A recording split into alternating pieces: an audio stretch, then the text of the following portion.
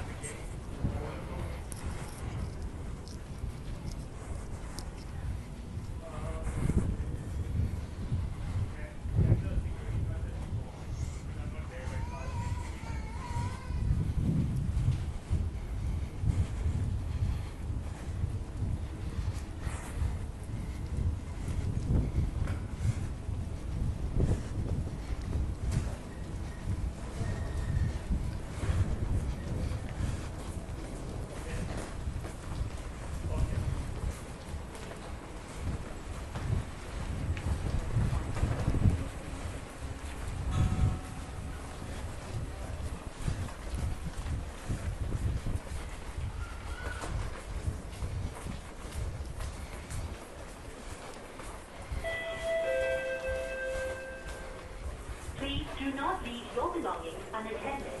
If you see any suspicious looking person or item, please inform our